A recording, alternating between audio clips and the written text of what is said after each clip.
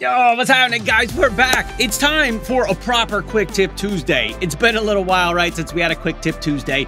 But I got a question uh, the last week or so that I thought might be helpful to everybody else out there, and that is if you apply an audio effect onto one clip or a couple of clips in your timeline, how do you go back and edit that effect? Now, when we're in Fairlight, it's easy to pop open that effect in your mixer. No problem, you can edit it. But what if it's just on a single clip? That's what we're going to talk about today. Let's jump into Resolve Quick Tip Tuesday. Let's go. So I am in the Edit tab right here. And let's say I just want to apply an audio effect to a clip, but not an entire track.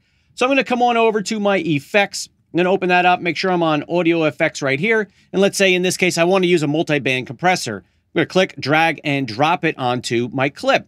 Now, the first time you drop it on, you're going to get that window where you can adjust all your settings and everything's right there. Super easy. So you make a couple changes, you make it the way you want.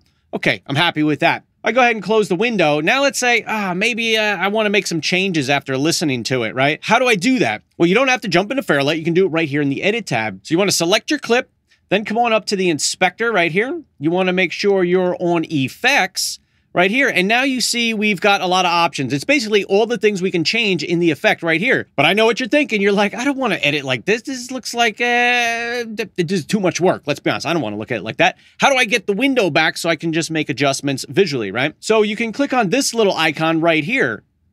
And that's going to reopen the effect window for you where you can go through and make any kind of adjustments that you want. And this works for any audio effect here in DaVinci Resolve if you want to apply it to just the clip and not the entire track. But if you do want to apply an effect to an entire track, you do that over in the Fairlight page in the mixer. Woo! Another quick tip Tuesday in the books here, guys. Was that helpful? Let me know. Hey, what do you think about this angle? I just happened to set my camera over here and I was like, hey, eh, that looks kind of cool. Something a little different, right? If you're missing some quick tip Tuesday, check out some more videos right up over here. All right, I'll see you in the next one. Peace.